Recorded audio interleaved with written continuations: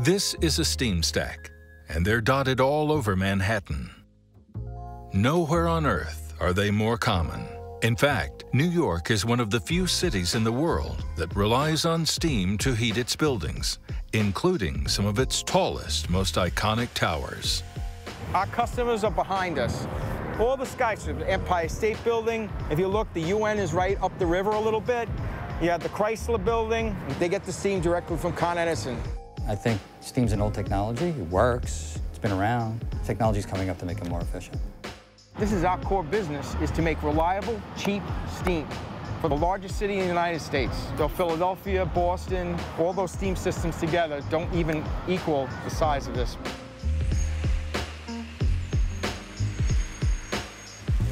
This is the story of how steam shaped New York City.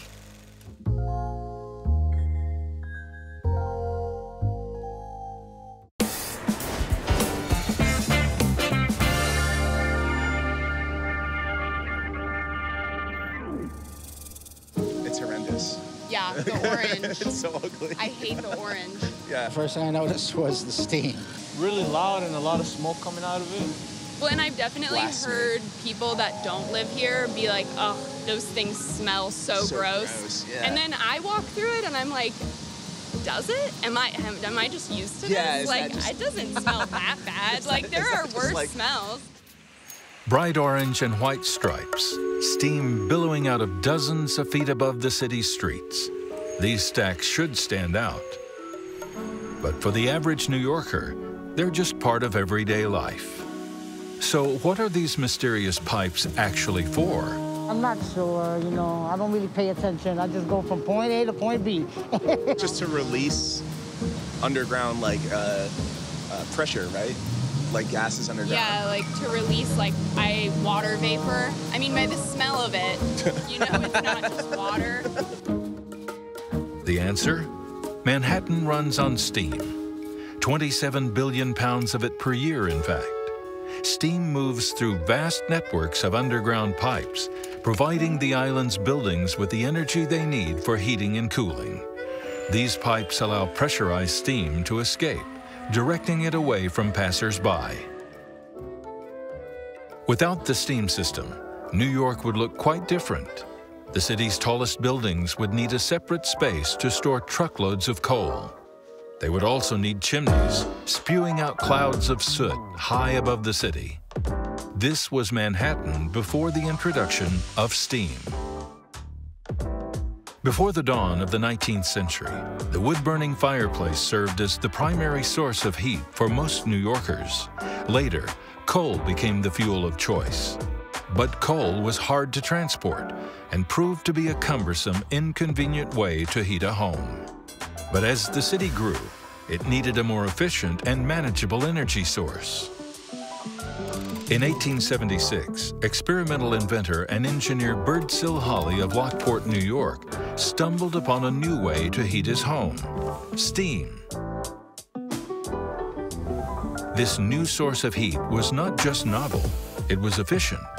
Soon he extended his system to heat the homes of his neighbors. Lockport, New York now ran on steam.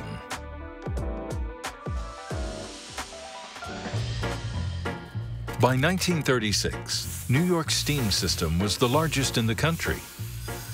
With 65 miles of main pipes and six steam generating plants serving 2,500 buildings.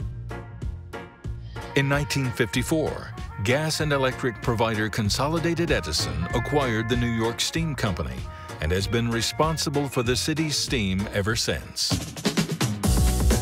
Today, steam's journey begins at one of the city's steam production facilities. Here, machines more than 10 stories high generate more than 3 million pounds of steam per hour. This station provides about 52 to 55% of all the steam in Manhattan, and it supplies all the electricity south of 36th Street down to the tip of the battery. You have 105 miles of piping that are underneath the streets.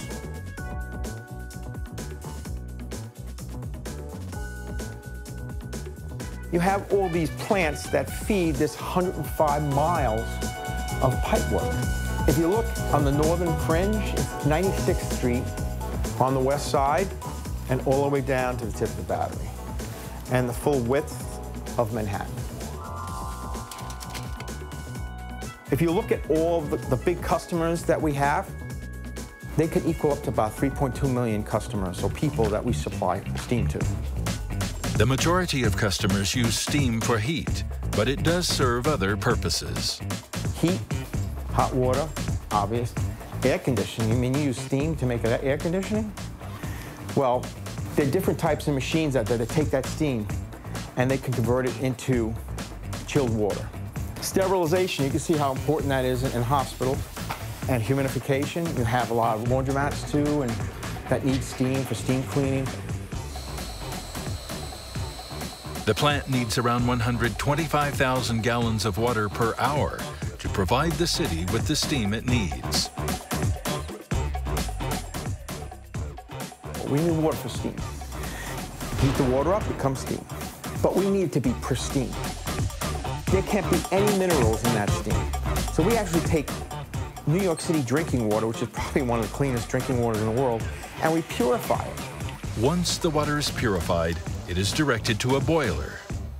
Mostly we burn gas here. That gas comes out and there's a ball of fire inside this big box with a big boiler. And that ball of fire is probably about 200, 2,500 to 3,000 degrees. And you have tubes on the inside surface of the big box or the big boiler. And inside there you have water. It's here that water becomes steam. That steam leaves the boiler and goes through a network of piping to any one of Con Edison's customers. Three of Con Edison's six plants generate both steam and electricity through a process called cogeneration. The steam generated from this plant goes into those pipes underground and it gets distributed throughout the city. And they, they go and they tap off and go to a customer and they feed into the basement of a building. And from there, it's metered and then it goes for whatever they need. If they need heating, they need cooling, they need uh, sterilization, whatever they need for. So, this is where it starts.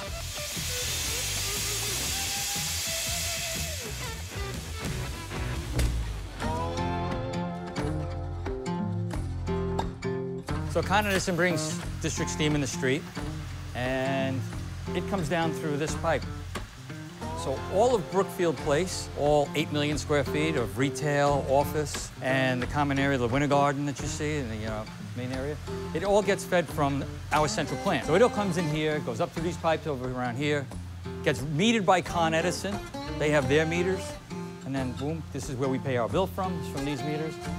Comes all the way back into this header on this side of things over here. And from here, we take it and we distribute it out to the buildings. Take the 180 pound Con Edison steam, and then that gets reduced down to 60, then down to 15, and it's 15 pound steam that the buildings are seeing. And then from here, we then distribute that and send it up a riser in a low pressure pipe, and it goes out to the building. The buildings don't see anything more than 15 pounds. When you maintain a system this vast, things happen, and you have to maintain it. So if there's a leak around a series of valves, that steam's gonna work its way up. Well, in the event that that steam gets up, you don't want it to spread out. And that's where steam stacks come in. You want to contain inside that stack so that nobody gets hurt.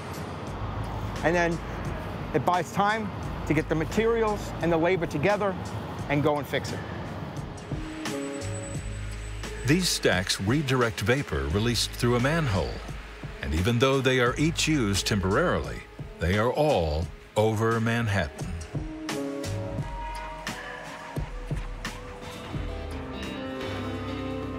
Steam looks like it's here to stay, but there is room for improvement.